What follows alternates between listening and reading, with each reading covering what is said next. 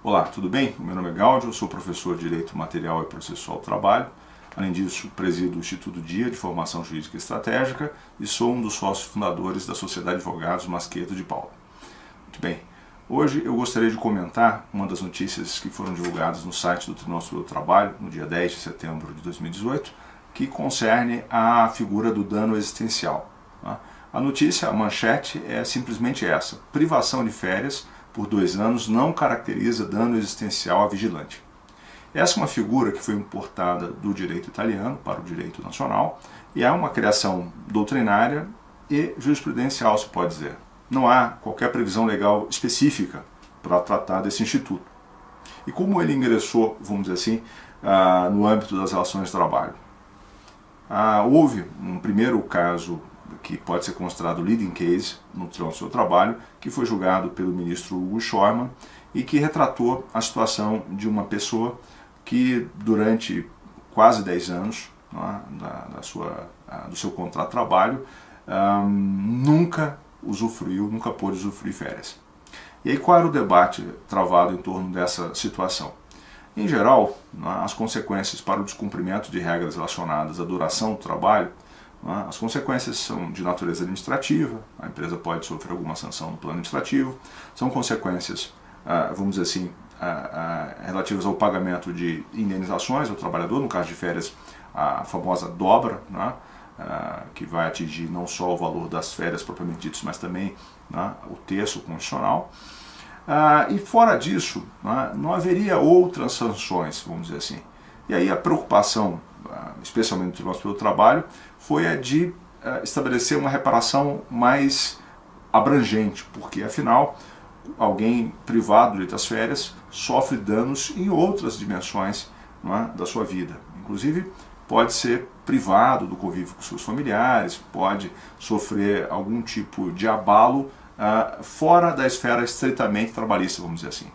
Foi precisamente com essa preocupação que o Tribunal Superior do Trabalho acabou incorporando à sua jurisprudência essa possibilidade excepcional de reparar o chamado dano existencial. Bom, em que consiste o dano existencial? O dano existencial, segundo esse entendimento do Tribunal Superior do Trabalho, é aquele que decorre da privação grave do convívio social, ou seja, uma ofensa à chamada vida de relações. É? é o que se dá, por exemplo, com alguém que tem uma jornada extenuante que lhe priva do convívio com os seus filhos, a sua esposa é? e mesmo os seus amigos.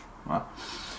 Mas ao lado disso, ao lado da privação grave do convívio social, também se reconhece como dano existencial aquele decorrente da frustração de um projeto de vida. Ou seja, uma pessoa que trabalha tanto, é? sem poder, por exemplo, gozar de férias, de intervalos, eventuais repousos semanais, que não consegue se engajar em qualquer outra atividade que permita, inclusive, que ele deixe essa condição né, a, a, no âmbito das relações de trabalho. Então, uma pessoa que não vai conseguir estudar, por exemplo, não vai conseguir fazer uma pós-graduação, não vai conseguir evoluir profissionalmente e não vai conseguir a, ah, desenvolver qualquer outro projeto além do trabalho. Pois bem, ah, nesses dois casos, o que nós temos é o reconhecimento da necessidade de indenizar este conhecido como dano existencial que a jurisprudência do Tribunal Superior do Trabalho vem reafirmando. É? Eu fiz hoje uma rápida pesquisa e vi que o Tribunal Superior do Trabalho já julgou 340 casos envolvendo dano existencial. E o que se percebe desses 340 casos é que a jurisprudência é muito restritiva. É o caso, inclusive, desse último julgado que eu comentei. É? Nesse caso, a turma, aqui a oitava turma, em um precedente da lavra da ministra Maria Cristina Peduzzi, é, disse que não se poderia vulgarizar é, a, ou banalizar esta figura, esse instituto dano existencial. Então, nesse caso concreto, a pessoa ficou sem férias durante dois anos.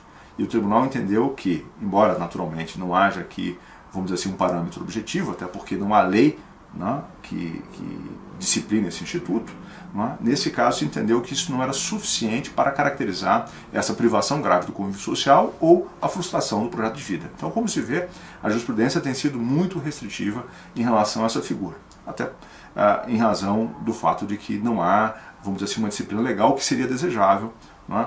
porque ah, esta criatividade né, da jurisprudência pode eventualmente comprometer o equilíbrio entre os poderes. E com isso, e com essa, essas rápidas informações, eu mais uma vez me despeço, me colocando à sua disposição para eventuais esclarecimentos. O meu e-mail é trabalho.gaudio.com.br. Continue contando comigo.